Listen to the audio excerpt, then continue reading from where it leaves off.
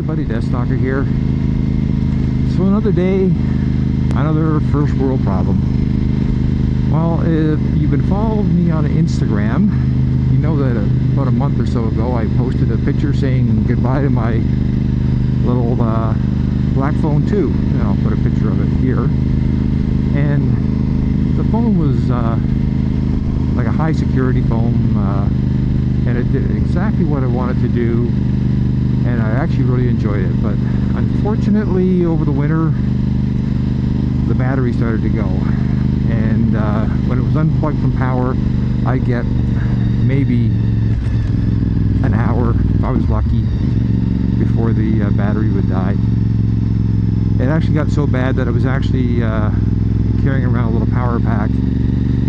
And uh, I was trying to see if I could actually buy a used one to uh, replace it because I really like that phone. Uh, if you're on social media, you know, a lot of the uh, apps they have there wants to know everything about you. Wants your contacts, your phone list, you know, your addresses, your location, all that sort of stuff, which, you know, I don't mind talking a bit about stuff, but I don't like the idea of having a phone uh, trying to use my personal information for profit.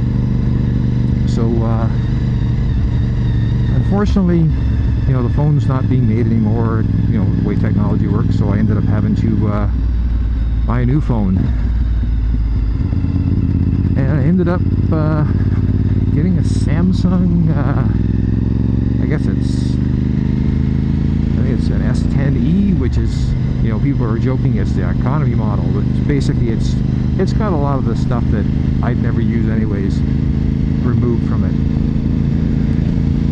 And of course once you get a new phone you get all the aggravation of you know trying to get your address book and all that sort of stuff transferred to the new phone. Now you're saying well you, you haven't you have you didn't store in the cloud. It's like uh, no the clouds are susceptible to hacking and uh, again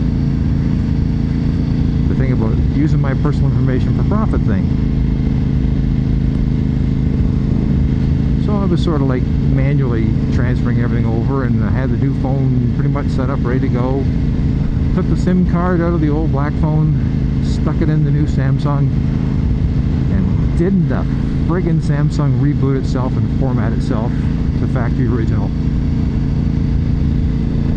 my wife heard heard me from the other part of the house. I was not a happy camper. So I'm back there having to re-enter all the damn data again. Now, luckily I didn't uh, take my old phone and like junk it or recycle it. I hang on to that sort of stuff to, uh, you know, just in case you have to uh, find something that you knew you had and it was on the old phone and you forgot to transfer it. So so essentially it was about another couple days I got the the new Samsung working more or less how I like it you know. I get the annoying messages from Google saying turn on your stuff or this app won't work where I basically you know I, I give the phone a finger and tell it to go away because it's like it ain't gonna happen.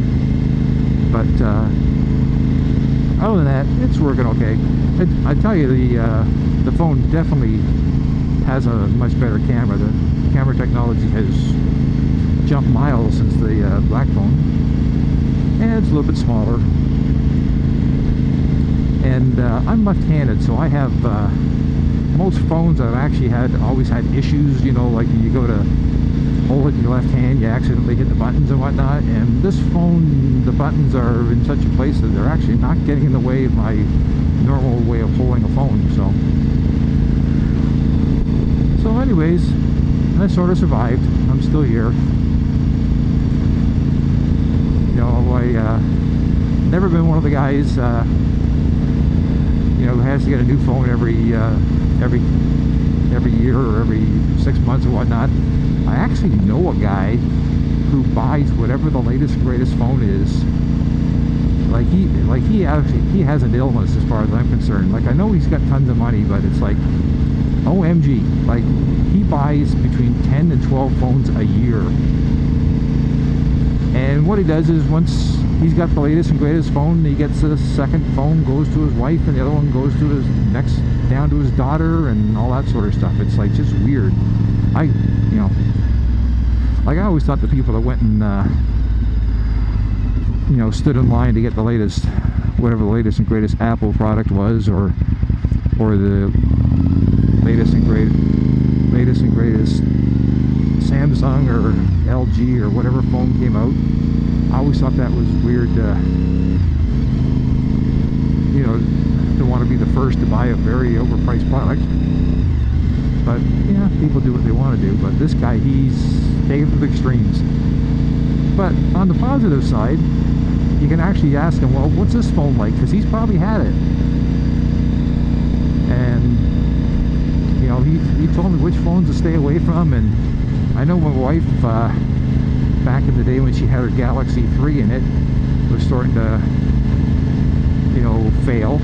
And, uh, we asked him what's a good phone to get like she doesn't want the latest and greatest she just wants a good reliable phone and uh, he gave us a couple suggestions and we actually found the one that uh, he suggested and she pretty much likes it but again though it's I just can't imagine spending thousands like you know probably in the neighborhood of ten thousand dollars a year buying phones. My wife would kill me. That's wasting a good motorcycle money. So again first world problems. You know I'll survive until the next uh, until this phone starts to go and I'll have to replace that but uh, hopefully that'll be another four or five years from now anyways that's all for now. Death Stalker signing off